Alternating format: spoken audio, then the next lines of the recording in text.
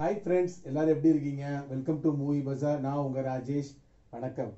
இன்னைக்கு எபிசோடில் நம்ம பார்க்க போகிற படம் நேற்று பிரபு சாலமனோட டைரக்ஷனில் வெளிவந்த காடன் அப்படிங்கிற படத்தை நம்ம இன்னைக்கு பார்க்க போகிறோம் இந்த படம் வந்து ரொம்ப நாள் கழித்து பிரபு சாலமன் எடுத்திருக்காரு. ஏன்னா தொடரிக்கு அப்புறம் இந்த படத்தை எடுத்திருக்காப்புல. இதில் வந்து விஷ்ணு விஷால் ராணா நடிச்சிருக்காங்க. இந்த படத்தோட கதை என்ன அப்படிங்கிறத நம்ம பார்த்துருவோம். இந்த படத்தோட கதை என்னன்னா தாத்தா அப்புறம் என் கொள்ளு தாத்தா என் காலத்தில் இருந்து இவங்க ஒரு காட்டை என்ன பண்ணுறாங்கன்னா பராமரிச்சுட்டு வராங்க. ஒரு ஸ்டேஜில் என்ன ஆயிடுது அப்படின்னா இந்த காட்டை கவர்மெண்ட்டுக்கிட்ட கிட்ட ஒப்படைச்சிடுறாங்க. ஒப்படைச்சதுக்கு அப்புறமும் இப்போ உள்ள ஜென்ரேஷனில் வர நம்ம ராணா என்ன பண்ணுறாரு அப்படின்னா என்னதான் உங்கள்கிட்ட கவர்மெண்ட்டை ஒப்படைச்சாலும் நான் தான் இந்த காட்டுக்கு தலைவன் அப்படிங்கிற மாதிரி என்ன பண்ணுறாரு அப்படின்னு கேட்டிங்கன்னா இவர் சொல்லிக்கிட்டு திடுறாரு அந்த காட்டுக்குள்ளே. மக்களும் பார்த்தீங்கன்னா அந்த மலைவாழ் மக்களும் இவர் பேச்சை தான் கேட்குற மாதிரி நமக்கு காமிக்கிறாங்க. இதுக்கிடையில் என்ன ஆயிடுது அப்படின்னா எப்பயுமே இந்த கூட்டம் கிடைக்கிறதுக்குன்னு சில பேர் வருவாங்க இல்லையா? அதே மாதிரி என்ன ஆயிடுது அப்படின்னா நம்ம எதிர்பார்த்த மாதிரியே கார்ப்பரேட் கம்பெனி என்ன பண்ணிடுறேன் அப்படின்னா எங்கெங்கேயோ இடம் இருக்கும் ஆனால் அவன் வம்புழுக்கிறதுக்கு ஒரு இடம் வேணும் இல்லையா? இப்போ கரெக்டாக இந்த இடத்துக்கு வராங்க. நாங்கள் வந்து இந்த காட்டில் ஒரு கு குறிப்பிட்ட தூரத்தில் ஒரு எட்டு ஒம்பது கிலோமீட்டர் வச்சுக்கோங்களேன்.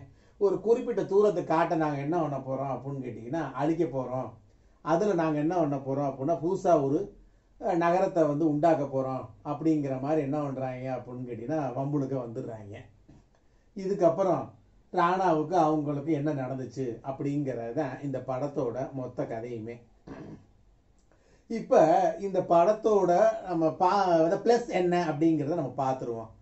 எனக்கு தெரிஞ்சு ஃபஸ்ட்டு இந்த படத்தில் வந்து பார்த்தீங்க அப்படின்னா ப்ளஸ் அப்படின்னு எனக்கு தெரிஞ்சதுன்னா நல்ல ஒரு தரமான ஸ்கிரிப்டோட பிரபு சாலமன் வந்து ஒரு மூணு வருஷம் கழிச்சு வந்திருக்காப்புல. நல்ல ஸ்கிரிப்ட் அதை தான் நான் சொல்ல முடியும் ஃபஸ்ட்டு ரெண்டாவதாக வந்து பார்த்தீங்க அப்படின்னா இந்த படத்தோட வசனம் டயலாக்ஸ் அவ்வளோ சூப்பர்பாக இருக்கு. என்ன அப்படின்னு கேட்டிங்கன்னா ஒவ்வொருத்தரும் வந்து பேசுகிற டயலாக்ஸ் எல்லாமே வந்து நாட்டு நடைமுறைக்கு இப்போ எப்படி இருக்கோ அது மாதிரி நல்ல மேட்ச் ஆகுது. அது ஒன்று மூணாவதாக நான் வந்து எதை சொல்லணும் அப்படின்னு கேட்டிங்கன்னா ராணாவோட நடிப்பும் விஷ்ணு விசாலோட நடிப்பும் படத்துக்கு அவ்வளோ ஒரு மிகப்பெரிய ஒரு பலம்.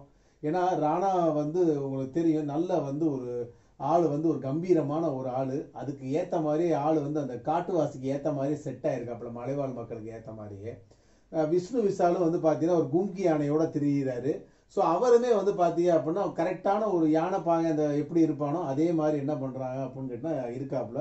ஸோ அது வந்து இந்த படத்தில் வந்து கரெக்டாக மேட்ச் ஆகுது அப்படின்னு நான் வந்து சொல்லுவேன். இதுக்கடுத்து எனக்கு வந்து ப்ளஸ்ஸாக தெரிஞ்சது என்னன்னா நம்ம அசோக் குமாரோட சினிமோட்டோகிராஃபி சும்மா வெளுத்து வாங்கியிருக்காப்புல. அந்த காட்டை அப்படி தத்துருவமாக படம் முடிச்சிருக்காங்க. உண்மையிலே சொல்கிறேன் அந்த மிஸ்ட் வர இடம் அந்த காட்டில் வந்து யானைகள் ஓடி வர மாதிரி காமிக்குது. அதெல்லாம் வந்து பார்த்தீங்க அப்படின்னா ரியல் டைமாக எடுத்தால் தான் நீங்கள் அதில் மேட்ச் பண்ண முடியும் கிராஃபிக்ஸில் பட் என்ன அப்படிங்கிற ரியல் டைமாக அவ்வளோ சூப்பர்பாக எடுத்திருக்காருன்னே சொல்லலாம். காட்டை மொத்தம் படம் முடிச்சு வந்து கொட்டியிருக்காப்புல. இது வந்து படத்துக்கு ஒரு மிகப்பெரிய ப்ளஸ்னே நான் சொல்லுவேன். அதுக்கடுத்து நம்ம இந்த படத்தோட மைனஸையும் பார்த்துடணும் இல்லையா? நான் அவங்கள்ட்ட ஆரம்பத்தில் என்ன சொன்னேன்? இந்த படத்தோட ஸ்கிரிப்ட் தான் நல்லா இருக்குனே பட் டைரக்ஷன் பிரபுசாலம் என்ன பண்ணிட்டாருன்னா அதை வந்து எடுக்க தவறிட்டாரோ அந்த ஸ்கிரிப்ட் படி எடுக்க தவறிட்டாரோ அப்படிங்கிற மாதிரி எனக்கு ஒரு ஃபீல் ஆகுது. ஏன் ஃபீல் ஆகுதுன்னா கதை ஆரம்பிச்சு ஒரு ஒரு மணி நேரத்தில் இவங்க இப்படி தான் சொல்ல போறாங்க இப்படிதான் படத்தை அடுத்து காமிக்க போறாங்க அப்படிங்கிறது நமக்கு தெரிய வந்துருச்சு. ஆனால் படம் ரெண்டரை மணி நேரம் ஓடுது. நம்மளை அடுத்து ஒரு ஒன்றே மணி நேரம் போட்டு வச்சு சாவடிக்கிறாங்கன்னே சொல்லலாம். சுற்றி சுற்றி ஒரே இடத்துல வருது. பாலிட்டிக்ஸு கார்ப்பரேட் கம்பெனி காட்டை எதுக்குறிய இப்படியே இப்போ பேசிக்கிட்டு சுத்தி சுத்தி ஒரே இடத்துல நிக்கிறாங்க. இது நமக்கு செம சலிப்பை தட்டுது. என்னடா இது இவங்க ஆரம்ப அறுவடையும் முதல்ல இருந்தா அப்படிங்கிற மாதிரி நமக்கு ஒரு வந்து சலிப்புத்தன்மை ஏற்படுது. ரெண்டாவது எனக்கு மைனஸ்ன்னு தென்பட்டது என்னன்னா இந்த படத்துல வழக்கம் போல பார்த்தீங்கன்னா ரெண்டு ஹீரோயினை நமக்கு காமிச்சிருக்காங்க. அதில் குறிப்பிட்டு பார்த்தீங்கன்னா ஒரு ஹீரோயினுக்கு அண்ணன் வேற ஒருத்தன் வரேன் அந்த ஹீரோயின் அண்ணன் தங்கச்சி இவங்க ரெண்டு பேரும் வச்சுங்களேன் இவங்க ரெண்டு பேரும் ஏன் வராங்கன்னு அவங்களுக்கே தெரியல. அவங்க டைலாக் பேசுகிறாங்க கேட்டால் நான் தான் டெரரிஸ்ட்டுங்கிறாங்க எதுக்கு வராங்கன்னே தெரியல. அப்படி ஒரு கேரக்டர் ரெண்டு பேர் வந்து படத்தில் அன்வான்டாக வந்துட்டு போயிட்டுருக்காங்க.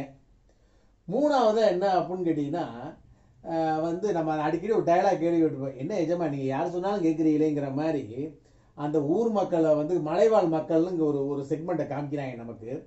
அவங்க பார்த்தீங்க அப்படின்னா திடீர்னு என்ன பண்ணுறாங்க அப்படின்னு கேட்டிங்கன்னா காட்டுக்கு எதிர்த்து பேசுகிறாங்க திடீர்னு ராணா சொல்கிறத கேட்குறாங்க திடீர்னு நான் காட்டை விட்டு வெளியே போகிறோங்கிறாங்க அவங்க யார் பேச்ச வேணாலும் கேட்பாங்கங்கிற மாதிரி அந்த மலைவாழ் மக்களை வந்து எடுத்திருக்காங்க. ஸோ அதில் வந்து என்னென்னா ஒரு உறுதித்தன்மை இல்லை அப்படிங்கிற மாதிரி நான் சொல்லி ஒரு ஒரு மலைவாழ் மக்கள்லாம் இப்படி தான் இருக்கணும். அவங்க ஒரே போர்ஷனை ஹேண்டில் பண்ணணுங்கிற மாதிரி காமிச்சிருந்துருக்கலாம். பட் அந்த மாதிரி இல்லை. யார் சொன்னாலும் அந்த மலைவாழ் மக்கள் கேட்பாங்க அப்படிங்கிற மாதிரி மூடுக்கு ஏற்ற மாதிரி பேசிட்டு வந்துட்டு போயிட்டு இருக்காங்க அந்த மலைவாழ் கும்பல். ஸோ மொத்தத்தில் இந்த படம் எப்படி இருக்குது அப்படின்னு நீங்கள் கேட்டீங்க அப்படின்னா இந்த படம் தொடரிய கம்பேர் பண்ணுறப்ப பரவாயில்ல அப்படின்னு நான் சொல்லுவேன். மற்றபடி என்ன அப்படின்னு கேட்டிங்கன்னா இந்த படத்தை பொறுத்தளவுக்கு என்னென்னா ஸ்கிரிப்ட் படி பிரபு சாலமன் எடுக்க தவறிட்டாரோ அப்படிங்கிற மாதிரி காட்டை மட்டும்தான் மைண்டில் வச்சுருக்காப்புல மக்களை மனசில் வைக்கலையோ அப்படிங்கிற மாதிரி எனக்கு கொஞ்சம் தோணுது. ஸோ அதனால் இந்த படத்துக்கு நம்ம மூவி பஜார் கொடுக்கக்கூடிய ரேட்டிங் என்ன அப்படின்னு கேட்டிங்கன்னா two point eight out of five மீண்டும் அடுத்த மூவி ரிவ்யூவில் நான் உங்களை சந்திக்கிறேன். என்னோட மூவி சேனலை பார்த்துட்டு இது வரைக்கும் பார்க்காதவங்க சப்ஸ்கிரைப் பண்ணிக்கோங்க. உங்கள் ஃப்ரெண்ட்ஸுக்கு ஷேர் பண்ணுங்கள் லைக் பண்ணுங்கள் கமெண்ட் பண்ணுங்கள் நன்றி வணக்கம்.